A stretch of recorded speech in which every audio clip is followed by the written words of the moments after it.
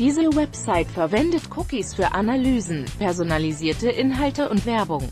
Indem Sie diese Website nutzen, erklären Sie sich mit dieser Verwendung einverstanden. Weitere Informationen Urheberrecht Picture Alliance CITYPRESS24 Das sind die drei Neuen in der Nationalmannschaft Kai Havertz, Nico Schulz und Thilo Kehrer sind die Neuen in der Nationalelf. Nach dem WM-Debakel rücken sie für Kedira, Özil und Plattenhardt ins Team. Deren Rückennummern erhalten allerdings andere. Anonym. Blinkt dieses Wort auf dem Smartphone eines Fußballprofis auf, legt dieser es meist direkt wieder weg. Zu groß die Gefahr, dass es ein nerviger Anruf von jemandem ist, der irgendwie die Nummer herausbekommen hat. Dienstagabend klingelte es bei Nico Schulz, die Nummer sagte ihm nichts. In der Leitung, Bundestrainer Joachim Löw. Er hatte die Nummer zum Glück nicht unterdrückt, sonst hätte ich den Anruf wahrscheinlich ignoriert, sagt der Profi der TSG Hoffenheim Donnerstagmittag im Gespräch mit Welt und lacht. Jetzt ist Löws Nummer bei ihm gespeichert. Schulz bildet mit Kai Havertz und Thilo Kehrer das neue Trio in der Nationalmannschaft. Alle sind erstmals nominiert und gehören dem Aufgebot für das Spiel in der Nations League gegen Frankreich am Donnerstag in München und dem Test gegen Peru in Sinsheim drei Tage später an. Sie sollen Druck auf die etablierten Spieler ausüben und nach dem WM-Debakel eine neue Etappe einläuten. Er hat mir gesagt, dass ich mir die Berufung durch die Leistungen in der vergangenen Saison verdient habe, so Schulz über das Gespräch mit Löw, das recht kurz gewesen sei. Er erhält die Trikotnummer 14 von Leon Goretzka, der künftig die 6 trägt, welche bisher dem Aussortieren Sami Khedira gehörte. Mit 25 Jahren ist Schulz der älteste der neun, ein Spätberufener. Er durchlief von der U15 an alle Jugendnationalmannschaften und galt bereits bei Hertha BSC als vielversprechendes Talent.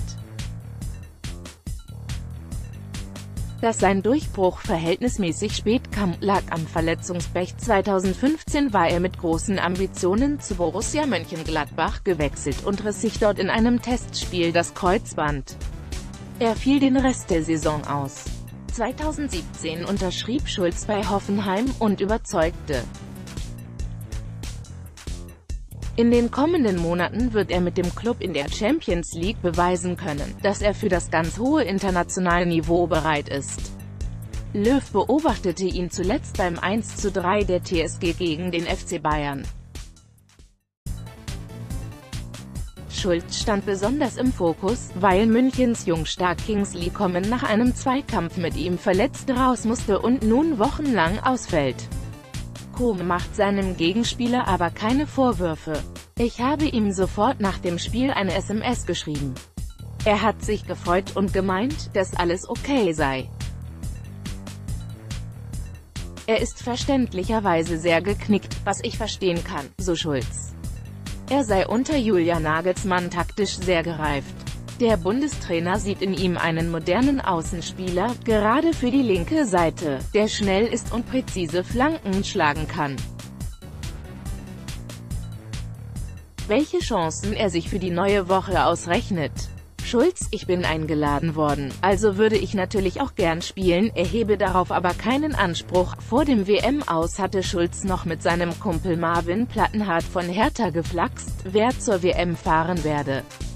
Löw entschied sich für Plattenhardt, der nun außen vor ist. Ist Schulz froh, dass er an dem WM-Debakel nicht beteiligt war?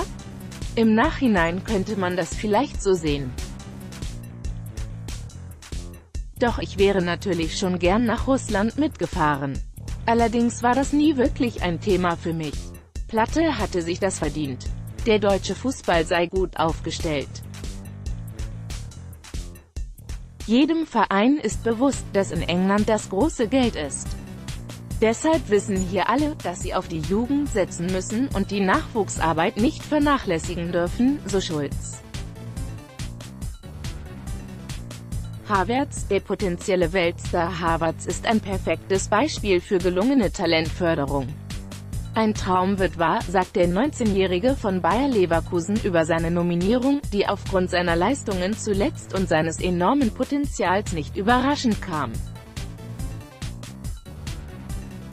Vor zwei Jahren spielte Havertz im Alter von 17 Jahren und 126 Tagen erstmals in der Bundesliga.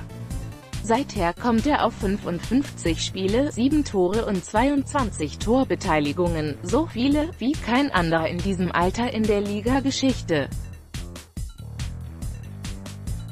Bereits in der Jugend war Havertz so gut, dass er zwei Jahrgänge übersprang, schon in der U8 waren große Clubs an ihm interessiert.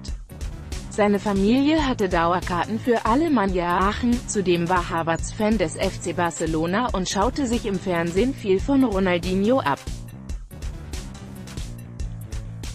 Sein Trainer Heiko Hellig lobt ihn als das größte Talent, das ich seit Toni Kroos gesehen habe.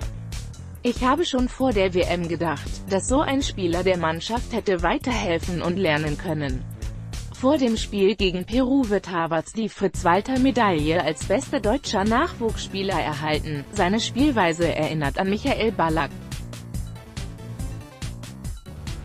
Was er spielerisch, technisch und auch im Kopf leistet, ist teilweise grandios. Er ist so talentiert, dass er das Zeug hat, ein Weltstar zu werden, so Teamkollege Julian Brandt. Havertz ist spielintelligent und kopfballstark, kann seine Stärken im offensiven Mittelfeld sehr gut einbringen und hat auch schon als Sechser gespielt.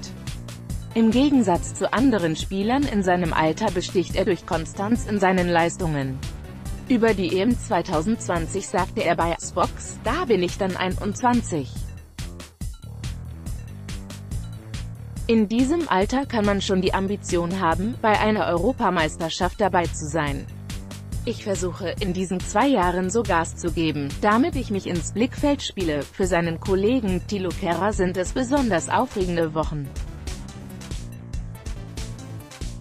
Gerade erst ist er für knapp 40 Millionen Euro vom FC Charles 04 zu Paris Saint-Germain gewechselt. Jetzt steht er auch noch vor seinem Debüt für Deutschland.